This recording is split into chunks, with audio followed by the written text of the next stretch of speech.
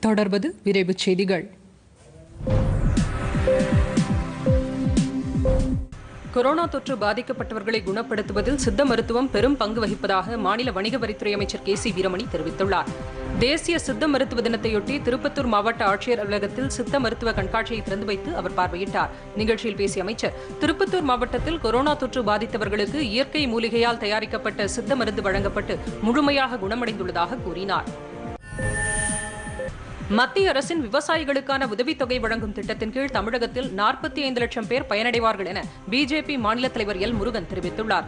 மதுரை விமான நிலையத்தில் செய்தியாளர்களிடம் பேசிய அவர் மறைந்த முன்னாள் பிரதமர் வாஜ்பேயி பிறந்தநாளையொட்டி நாளை விவசாயிகளுக்கு பிரதமர் நரேந்திர மோடி உதவித்தொகை வழங்க உள்ளதாக கூறினார். மேலும் திமுக உள்ளிட்ட எதிர்க்கட்சிகள் வேளாண் சட்ட திருத்தம் குறித்து தவறான தகவல்களை பரப்பி வருவதாகவும் அவர் குற்றம் சாட்டினார். பெண்கள் தொடர்ந்து கல்வி கற்கும் சூழலை அரசு பள்ளிகளில் உருவாக்க வேண்டும் என தருமபுரி மக்களவை உறுப்பினர் எஸ். செந்தில்குமார் தெரிவித்துள்ளார். தருமபுரி மாவட்டம் நல்லம்பள்ளி அருகே உள்ள கணிகார அள்ளி கிராமத்தில் மக்களவை உறுப்பினர் மேம்பாட்டு நிதியிலிருந்து பதினோரு லட்சத்து ஐம்பதாயிரம் ரூபாய் மதிப்பீட்டில் நவீன கழிப்பிட கட்டடத்தை பயன்பாட்டிற்கு இன்று அவர் திறந்து வைத்தார். பின்னர் செய்தியாளர்களிடம் பேசிய அவர் அரசு பள்ளிகளில் பெண் குழந்தைகள் கழிப்பறை மற்றும் சுகாதார வசதி இல்லாமல் படிப்பை பாதியில் விட்டுவிடக்கூடாது என்ற நோக்கத்தில்தான் இந்த திட்டம் தொடங்கி வைக்கப்பட்டதாக தெரிவித்தார்.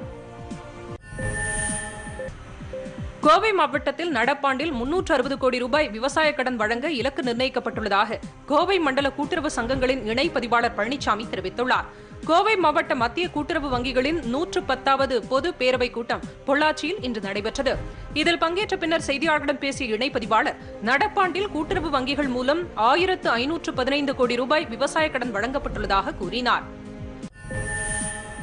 கிருஷ்ணகிரி மாவட்டம் மாதேப்பள்ளி கிராமத்தில் தமிழக அரசின் சமூக பொருளாதார முன்னேற்ற திட்டத்தின் கீழ் நாட்டுக்கோழி வழங்கும் திட்டத்தை மாவட்ட ஆட்சியர் ஜெயச்சந்திர பானு தொடங்கி வைத்தார். அப்போது பேசிய அவர் மாவட்டத்தில் முதற்கட்டமாக நான்காயிரம் பயனாளிகளுக்கு கோழிகள் வழங்க நடவடிக்கை எடுக்கப்பட்டு அதற்கான பயனாளிகள் தேர்வு நடைபெற்று வருவதாக தெரிவித்தார். இந்நிகழ்ச்சியில் சட்டப்பேரவை உறுப்பினர் ராஜேந்திரன் உள்ளிட்ட பலர் கலந்து கொண்டனர்.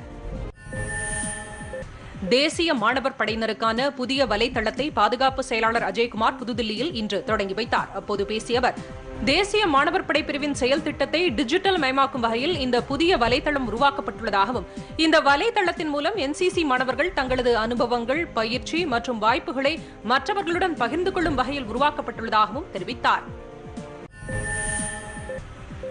மத்திய அரசின் ஸ்மார்ட் சிட்டி திட்டத்தின் கீழ் சேலம் மாநகராட்சி பகுதியில் தொள்ளாயிரத்து அறுபத்தி ஐந்து கோடி ரூபாய் மதிப்பில் பணிகள் நடைபெற்று வருவதாக மாநகராட்சி ஆணையர் ரவிச்சந்திரன் தெரிவித்துள்ளார்.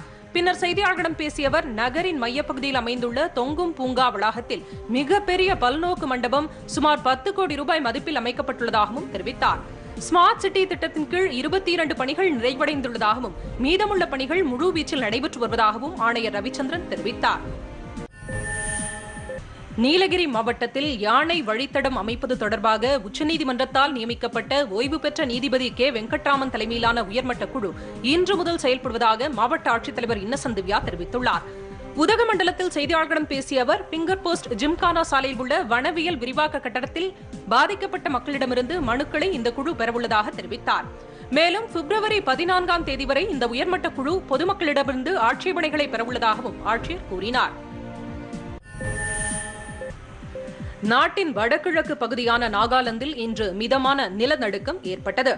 நாகாலாந்தில் உள்ள மோகாக்சங் நகரை மையமாக கொண்டு ரிக்டர் அளவுகோலில் நான்கு புள்ளி ஆறாக இந்த நில அதிர்வு உணரப்பட்டதாக தேசிய நில அதிர்வு ஆய்வு மையம் தெரிவித்துள்ளது. இந்த நிலநடுக்கத்தால் ஏற்பட்ட பாதிப்புகள் குறித்து உடனடியான தகவல்கள் ஏதும் இல்லை என்றும் இந்த ஆய்வு மையம் வெளியிட்டுள்ள செய்திக்குறிப்பில் தெரிவிக்கப்பட்டுள்ளது. பொதிகை செய்திகளை யூடியூபில் தமிழ் நியூஸ் தூர்தர்ஷன் என்ற சேனலிலும் முகநூலில் டிடி பொதிகை நியூஸ் என்ற பக்கத்திலும் ட்விட்டரில் டிடி நியூஸ் சென்னை என்ற பக்கத்திலும் இன்ஸ்டாகிராமில் டிடி பொதிகை நியூஸ் என்ற பக்கத்திலும் காணலாம். மேலும் உங்கள் கருத்துக்களை Podhigai DD news at Gmail dot com என்ற மின்னஞ்சலில் தெரிவிக்கலாம்.